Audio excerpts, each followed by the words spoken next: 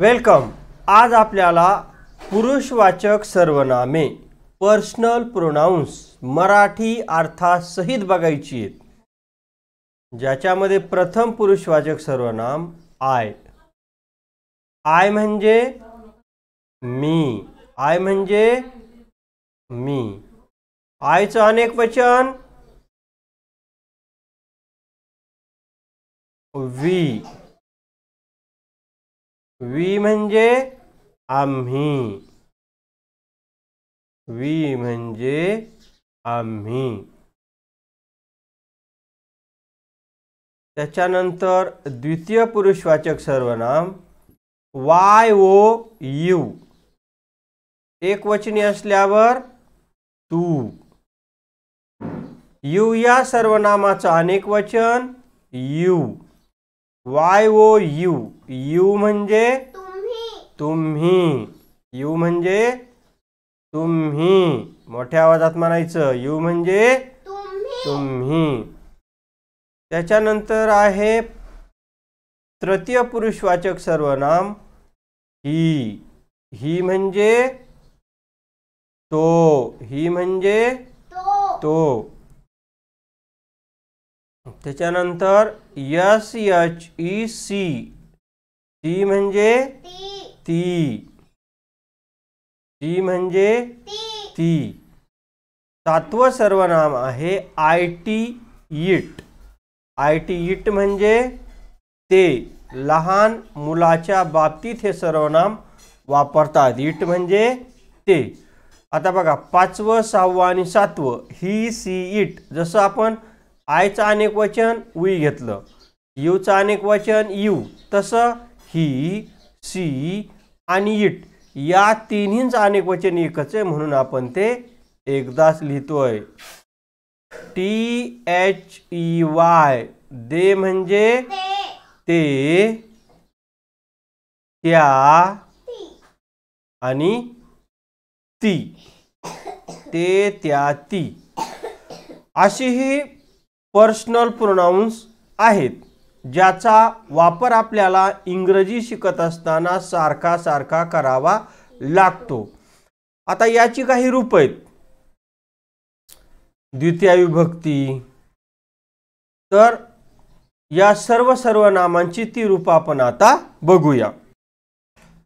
बघा आयची द्वितीय विभक्ती मी. मी म्हणजे मला. मी म्हणजे मला. त्याच्यानंतर षष्टी विभक्ती माय. यम वाय माय म्हणजे माझा. माझे. माझी. माझे. माझे. माझा माझी माझे. त्याच्यानंतर षष्टी विभक्तीचं दुसरं रूप माईन. माईन म्हणजे माईन म्हणजे सुद्धा माझा माझी माझे माझा माझी माझे. असेच याचे सुद्धा अर्थ आहेत. माय आणि माईन या शब्दाचे अर्थ सारखेच. आहे फक्त त्याच्या वापरात थोडा फरक आहे. तो आपण नंतर पुढच्या व्हिडिओमध्ये बघूयात. वी वी या शब्दाची द्वितीय विभक्ती अस. अस म्हणजे आम्हाला. अस अस म्हणजे आम्हाला. म्हणा माझ्याबरोबर अस म्हणजे आम्हाला. षष्टी विभक्ती आवर ओ यू आर. आवर म्हणजे आमचा. आम- आमची. आमची आमचे.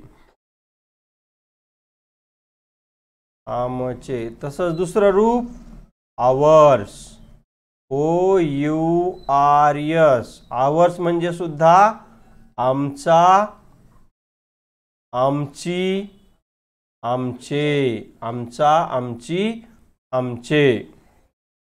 आता ही द्वितीय विभक्ती. याची यूची द्वितीय विभक्ती एकवचनी यू यू. प्रथमा द्वितीया सारखीच आहे वायो यू. यू म्हणजे तुला. तुला. एकवचनी यूची द्वितीय विभक्ती तुला. षष्ठी विभक्तीचं रूप युवर. युवर म्हणजे तुझा तुझा तुझी तुझा तुझी तुझे. तुझा तुझी तुझे. षष्ठी विभक्तीचं दुसरं रूप yours Y O U R S. Yours म्हणजे सुद्धा तुझा तुझी तुझे. तुझा तुझी तुझे. आता चौथा शब्द आहे वाय व यू. यू म्हणजे तुम्ही. अनेक वचन. याची द्वितीय विभक्ती यू. यू म्हणजे तुम्हाला. तुम्हाला. यूचं द्वि षष्टी विभक्तीचं रूप युवर. युवर म्हणजे अनेक वचनीय हे म्हणून याचा अर्थ तुमचा तुमची तुमचे तुमचा तुमची तुमचे षष्टी विभक्तीचं दुसरं रूप युवर्स. युवर्स म्हणजे तुमचा तुमची तुमचे. याचे सुद्धा तेच अर्थ आहे. तुमचा तुमची तुमचे. तुमचा तुमची तुमचे. आता पाचवा शब्द याची ही म्हणजे तो हिची द्वितीय विभक्ती हिम. हिम म्हणजे त्याला हिम म्हणजे त्याला. हिची षष्टी विभक्ती हिज. हिज म्हणजे त्याचा त्याची त्याचे हिज म्हणजे त्याचा त्याची त्याचे. षष्टी विभक्तीचा दुसरा रूप हिज. हिज म्हणजे त्याचा त्याची त्याचे. त्याचा त्याची त्याचे. सहावा शब्द यस याची सी. सी याचं द्वितीय विभक्तीचं रूप हर हर म्हणजे तिला हर म्हणजे तिला. हर तिला. षष्ठी विभक्तीचं रूप सीच हर हर म्हणजे तिचा तिची तिचे. हर म्हणजे तिचा तिची तिचे. आणि षष्ठी विभक्तीचं दुसरं रूप हर्ष. हर्ष म्हणजे तिचा तिची तिचे तिचा तिची तिचे. त्याच्यानंतर सातवा शब्द आहे सातव्या शब्दाची द्वितीया आय टी इट इटची द्वितीया इट इट म्हणजे त्याला. इट म्हणजे त्याला इट्स दुसरं रूप षष्टी षष्ठी विभक्तीचं रूप इट्स इट्स। इट्स म्हणजे त्याचा त्याची आणि त्याचे त्याचा त्याची त्याचे। इट्स षष्ठी विभक्तीचं दुसरं रूप होत नाही. आता दे. देची द्वितीया देम. देची द्वितीया देम म्हणजे त्यांना. देम म्हणजे त्यांना. देची षष्टी विभक्ती their. T H E I R. Their म्हणजे त्यांचा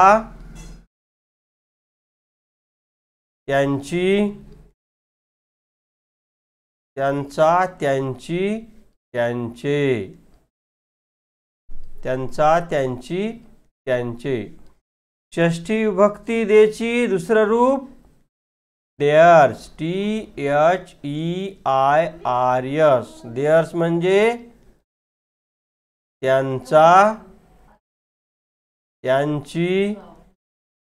त्यांचे. मित्रांनो ही सर्व नामं आपल्यासाठी अत्यंत महत्त्वाची आहेत. याच्यामध्ये आय हे एकवचनी. आय हे कसं आहे? एक वचनी आणि आयचं अनेक वचन काय आहे? वी. वी म्हणजे आम्ही. आम्ही वी म्हणजे आम्ही. वी हे आईचं अनेक वचन आहे. अनेक वचन आहे हे लक्षात ठेवा. त्याच पद्धतीनं तिसरा आणि चौथा शब्द वाय ओ यू. यू हा एकवचनी आहे तू. आणि हे दुसरं जे यू आहे चार नंबरला ते वाय ओ यू. यू म्हणजे तुम्ही. यू म्हणजे काय आहे? तुम्ही. हे यूचं अनेक वचन आहे. त्याच पद्धतीनं ही याची ही ही म्हणजे तो. यश याची सी म्हणजे ती आणि आय टी इट म्हणजे ते. ही सी इट ही तिन्ही एक वचनी सर्वनामं आहेत आणि या तिन्हींचं अनेक वचन. T H E Y they म्हणजे ते त्या ती. असं त्यांचं अनेक वचन आहे. ही म्हणजे तो आणि दे म्हणजे ते. सी म्हणजे ती आणि दे म्हणजे त्या. इट म्हणजे ते आणि दे म्हणजे ती. ते मूल आणि ती मुलं. असा याच्यातला फरक आहे. ही सर्व नामं तुम्ही वहीमध्ये लिहून काढायची आहेत. पुन्हा पुन्हा वाचायची कारण ही आपल्याला संपूर्ण इंग्रजी शिकत असताना प्रत्येक ठिकाणी कुठं ना कुठं येणार आहेत. यांचा वापर सर्वसाधारणपणे इंग्रजीमध्ये कर्ता म्हणून आपण सुरुवातीला करत असतो. त्याच पद्धतीनं आपण राम हा सर हा कर्ता म्हणून घेतोय तसंच people. P E O P L E people हा अनेक वचन शब्द. पीपल म्हणजे लोक. याचा सुद्धा वापर आपण करता म्हणून वारंवार करणार आहोत. आणि राम हे एक नाम घेतले आपण जे की एकवचनी आहे. एक वचनी आणि पीपल अनेक वचनी कारण याच्यानंतर आपण सर्वनाम बघणार आहोत. त्या सर्वनाम नाही सहाय्यकारी क्रियापद बघणार आहोत. त्याच्यामध्ये काही स सहाय्यकारी क्रियापद एकवचनी असतात काही सहाय्यकारी क्रियापद अनेकवचनी असतात. एकवचनी जे सहाय्यकारी क्रियापद आहे ते एकवचनी कर्त्यासोबत वापरतात आणि जे अनेकवचनी सहाय्यकारी क्रियापद आहे ते अनेकवचनी कर्त्यासोबत वापरतात.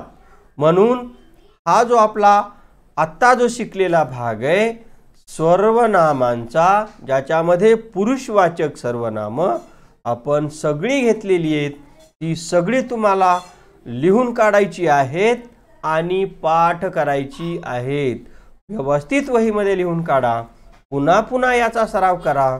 याला पर्याय नाही. हे जर तुम्हाला येत नसल तर पुढचं इंग्रजी तुम्हाला समजणार नाही ते कळणार नाही. त्याच्यासाठी तुम्हाला ही सर्वनामं स्वतंत्र वही करायची आहे. त्या वहीमध्ये पुन्हा पुन्हा पुन्हा लिहायची वाचायची.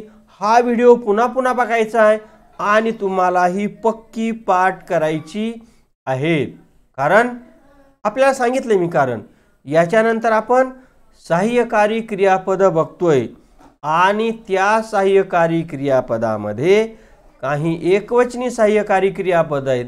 तर काही अनेकवचनी आणि मग तिथं आपल्याला प्रश्न पडतो की आयसोबत काय वापरायचं उईसोबत काय वापरायचं त्यावेळेस आपल्या जर इथलं शिकवलेली गोष्ट लक्षात असेल एकवचनी सर्वनाम कोणतं अनेकवचनी सर्वनाम कोणतं तर तिथंसुद्धा आपल्याला एकवचनी सहाय्यकारी क्रियापद दिलं जाणार आहे. अनेकवचनी सहाय्यकारी क्रियापद दिलं जाणार आहे. आणि मग तिथं आपल्याला विचार करण्याची गरजच पडणार नाही की कोणत्या ठिकाणी कोणतं सर्वनाम सहाय्यकारी क्रियापद वापरायचं आहे नियम साधा सरळ आहे. एक वचनासोबत एक वचन अनेक वचनासोबत अनेक वचन. त्याला काही अपवाद असतात. ते आपण पुढं पुढं पुढं पुढं जसं जाऊ तसं तसं शिकत राहणार आहोत. समजतंय? आता आपण बर राहील ना मग लक्षात आता? हा व्हिडिओ अत्यंत महत्त्वाचा आहे. कशासाठी? कारण याचाच वापर आपण इंग्रजी शिकत असताना सुरुवातीला करतो विधानार्थी वाक्य करताना. आणि मग हे जर आपल्याला येत असेल तर सहाय्यकारी क्रियापदाबरोबर कोणतं सर्वनाम वापरायचं किंवा कोणत्या सर्वनामासोबत कोणतं सहाय्यकारी क्रियापद वापरायचं हे आपल्याला पक्क कळेल. त्याच्यामुळं हा अत्यंत महत्त्वाचा भाग आहे. पुन्हा पुन्हा रिव्हिजन करा लिहून काढा व्हिडिओ पुन्हा पुन्हा बघा काय करायचे ते करा.